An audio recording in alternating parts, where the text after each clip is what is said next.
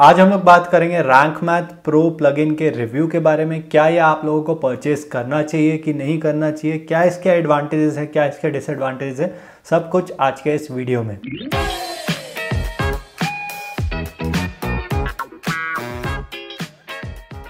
Hi guys मेरा नाम है कृपेश आडवाणी। यहाँ पर मैं हेल्प करता हूँ आप लोगों को एक बेटर सॉफ्टवेयर परचेसिंग डिसीज़न लेने के लिए। आज जिस डिजिटल टूल के बारे में हम लोग बात करने वाले हैं, वो एक प्लगइन है वर्डप्रेस के लिए, जिसको कहते हैं रैंक मैथ प्रो सो ये एक काफ़ी पॉपुलर प्लगइन है, अभी तक ये फ्री में था, अब इसका एक प्रो वर्जन भी लॉन्च कर दिया है। तो आज हम लोग प्रो वर्जन के जो फीचर्स है, उसके बारे में बात करेंगे, क्या एक्स्ट्रा है, वो वो चीज़ बात करेंगे। और ये एक ट्यूटोरियल वीडियो नहीं है। यहाँ पर मैं आपको सिर्फ़ फीचर्स के बारे में बताऊँगा, क्या फीचर्स है और इसका क्या यूज़ है। सो so, सबसे अच्छी बात जो मुझे लगी है इसके प्रो वर्जन में वो ये है कि जो फ्री वर्जन था उसमें कुछ चेंजेस नहीं करे गए हैं उसमें से कुछ माइनस नहीं किया गया है। जो प्रो वर्जन है उसमें एनहांसमेंट किए गए हैं प्रो वर्जन के लिए। तो ये एक अच्छी बात है क्योंकि मैंने बहुत सारी कंपनीज़ को ऐसे देखा कि पहले वो लोग बहुत ज़्यादा दे देते हैं फ्री में फिर प्रो वर्जन लॉन्च करते हैं तो फ्री वाले को कट कर देते हैं या लिमिट कर देते हैं। इस केस में ऐसा नहीं हुआ है। जो पहले फ्री था वो अभी भी फ्री है। बिना किसी लिमिटेशन के। So before I talk about other features I would like to thank today's video sponsor Hostinger Hostinger एक अफोर्डेबल होस्टिंग सर्विस है, जो कि बिगनर्स के लिए काफ़ी अच्छी है इजी टू यूज़ है, इसका अप टाइम भी अच्छा है। बैकअप ऑप्शंस भी आपको यहाँ पे मिल जाते हैं लाइट स्पीड सर्वर्स का यूज़ किया गया है सिंगापुर में सर्वर्स है तो इंडियन यूज़र्स के लिए भी अच्छा है। और अगर आप लोग मेरे नीचे दिए गए लिंक से परचेस करोगे और एंटर करोगे कूपन कोड क्रिपेश तो आपको मेरे ट्रेनिंग प्रोग्राम में भी फ्री एंट्री मिल जाएगी, जहाँ पे मैंने एक्सप्लेन किया है कि होस्टिंगर को कैसे यूज़ करना है। और अगर आप लोगों को पसंद नहीं आती है तो आप लोग 30 डेज़ में फुल रिफंड क्लेम कर सकते हो। सबसे पहला यहाँ पर जो मेन फीचर है, वो है स्कीमा जनरेटर स्कीमा क्या होता है? जैसे आप लोग गूगल में सर्च करते हो, आपको कुछ स्निपेट्स दिखते होंगे एफएक्यू वाले स्निपेट्स दिखते होंगे, वो सब स्कीमा के थ्रू आते हैं। तो स्कीमा की बहुत इंपॉर्टेंस है आज के टाइम पर। ना गूगल ये कहता है कि स्कीमा आपकी सर्च इंजन के रैंकिंग्स को इम्प्रूव नहीं करता है डायरेक्टली लेकिन जब भी आपकी वेबसाइट में स्कीमा रहता है, मान लो आपने कोई रिव्यू लिखा है, उसके नीचे स्टार दिख रहे हैं तो वहाँ पर यूज़र ज़्यादा क्लिक करते हैं। अगर कुछ एफ़ है तो वहाँ पर यूज़र ज़्यादा क्लिक करते हैं और उसकी वजह से सीटीआर बढ़ता है और सीटीआर की वजह से आपकी पेज रैंकिंग्स बढ़ती है। तो डायरेक्टली सर्च इंजन रैंकिंग्स में इफ़ेक्ट नहीं पड़ेगा, लेकिन indirectly over the period of long time यहाँ पे डेफिनेटली इफ़ेक्ट पड़ेगा। यहाँ पे इन्होंने तीन मेजर इंप्रूवमेंट्स किए मल्टीपल स्कीमा लेके आए हैं लोग। अब आप लोग स्कीमा को इंपोर्ट भी कर सकते हो दूसरी वेबसाइट से और कस्टम स्कीमा भी यहाँ पे अपना डाल सकते हो। फॉर एग्ज़ाम्पल ये रहा एक स्कीमा जनरेटर अभी यहाँ पे एक आर्टिकल का है। मल्टीपल स्कीमा में मुझे यहाँ पे दो तीन और स्कीमा चाहिए। क्यों चाहिए रहेंगे? मान लो कि यहाँ पे मैं रेसिपी लिख रहा हूँ। तो स्कीमा जनरेटर पे जाऊँगा मैं। एक और रेसिपी के लिए मैं यहाँ पर एक स्कीमा को यूज़ कर लूँगा। तो यहाँ पे ये मेरे दो स्कीमा हो गए। अब मुझे यहाँ पे एफएक्यू भी डालना है। तो एफएक्यू का भी स्कीमा लगेगा।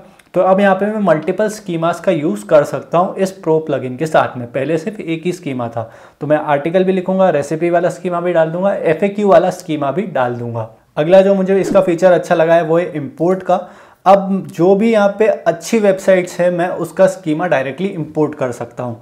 जैसे मुझे चाहिए रेसिपी फॉर चॉकलेट केक मैं गूगल पे जाऊँगा, इसको यहाँ पे सर्च करूँगा एंड ये एक अच्छा लग रहा है रेसिपी इसका स्कीमा भी रेडी है। तो मैं सिर्फ़ इसका यू आर लूँगा। मुझे इस वेबसाइट का स्कीमा अपनी वेबसाइट पे चाहिए। काफ़ी पॉपुलर वेबसाइट है। तो इन्होंने सब टेस्टिंग मेरे लिए करके रखी है। अब मैं सिर्फ़ इनका स्कीमा डायरेक्ट अपने पास ले लूँगा। इंपोर्ट पे जाऊँगा, यहाँ पे यूआरएल पे पेस्ट कर दूँगा एंड मेरे पास इस वेबसाइट का स्कीमा आ जाएगा। एंड ये स्कीमा मेरे पास आ गया है अब। तो अब जो इसका मेन स्कीमा है, वो है यहाँ पर इनकी रेसिपी का। मैं इसको यूज़ भी कर सकता हूँ प्रिव्यू भी कर सकता हूँ। और प्रिव्यू में ये रहा पूरा स्कीमा आप लोग इसको चाहे तो गूगल से टेस्ट भी कर सकते हैं कि किस टाइप से इनका स्कीमा दिख रहा है। मैं यहाँ पे टेस्ट कोड पे क्लिक कर दूँगा। वैसे स्कीमा वाली बातें आपको थोड़ी समझनी पड़ेगी कि स्कीमा कैसे वर्क करता है, किस टाइप के स्कीमा होते हैं तो थोड़ी स्टडी आपको करनी पड़ेगी स्कीमा के ऊपर अगर आपको नहीं पता है।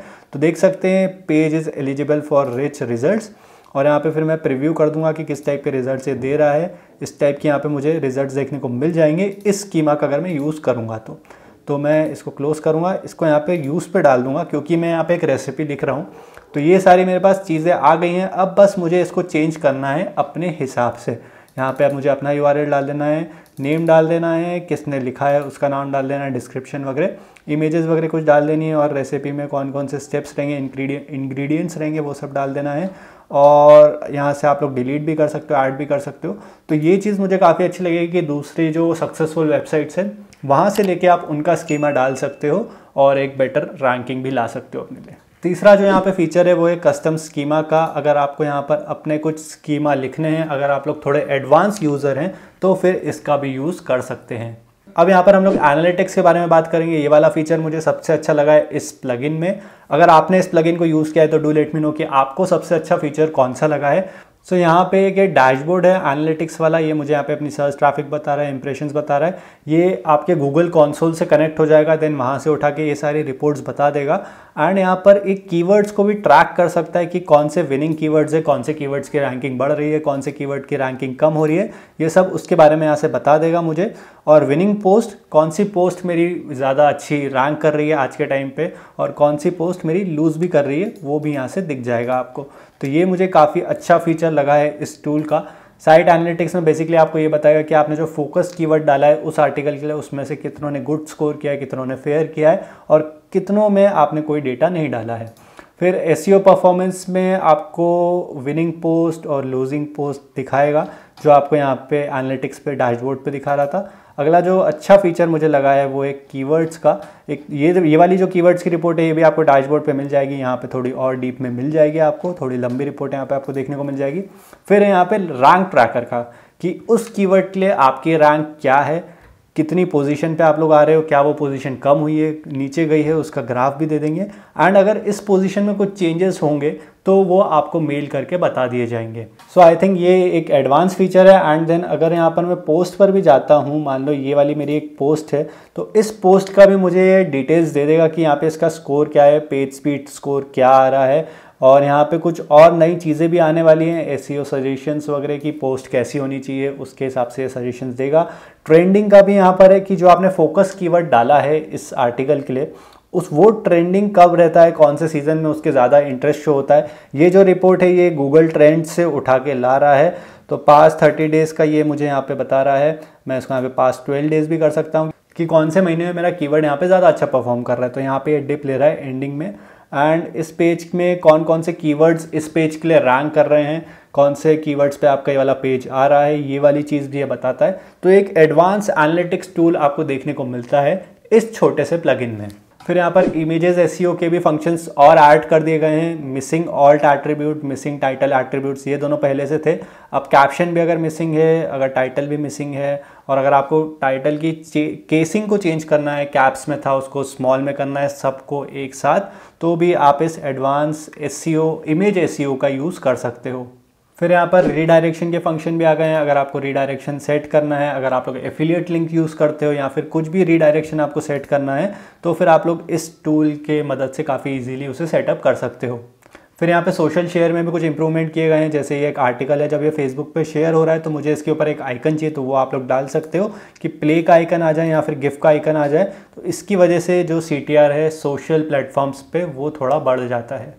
फिर अगर मैं इसके सपोर्ट की बात करूँ तो इसका मुझे सपोर्ट काफ़ी अच्छा लगा है। इनका जो नॉलेज बेस आर्टिकल्स है, वो भी इन्होंने काफ़ी अच्छे से दिए हैं। हर टॉपिक के लिए आपको कुछ ना कुछ आर्टिकल्स मिल जाएँगे। फोरम सपोर्ट भी इनका अच्छा है। फोरम्स पे भी काफ़ी क्वेश्चंस पूछे गए हैं। काफ़ी ये लोग रिप्लाई भी करते हैं, वो भी अच्छा है। और जो इनका फेसबुक ग्रुप है वो भी अच्छा है। स्पीड की बात करूँ तो स्पीड यहाँ पर मुझे अच्छी देखने को मिली है। कुछ मेजर चेंजेस नहीं देखने को मिले हैं इस प्लगइन की वजह से। यहाँ पे एक टेस्ट वेबसाइट है जो मैंने सेट करी है होस्टिंगर के ऊपर K P test hosting seven dot X Y G पे। इस पर मैंने योस्ट और रैंक मैथ दोनों को डाल के देखा और दोनों को डालने के बाद दस से पंद्रह के का बस साइज़ इंक्रीज़ हुआ था। उससे ज़्यादा यहाँ पर मेरा साइज़ इंक्रीज़ नहीं हुआ। दोनों प्लगइन ने स्पीड के मामले में काफ़ी अच्छा परफॉर्म किया है।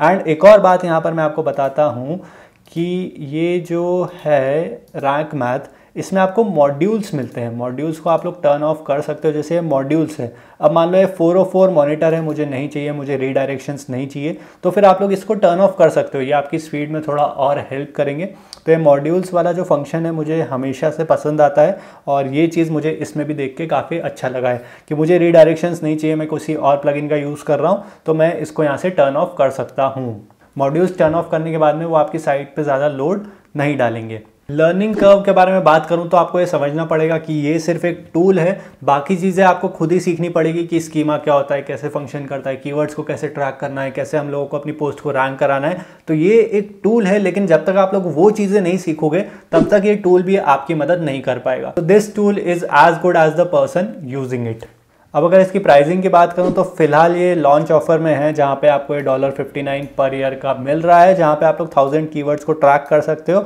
और स्कीमा जनरेटर भी है।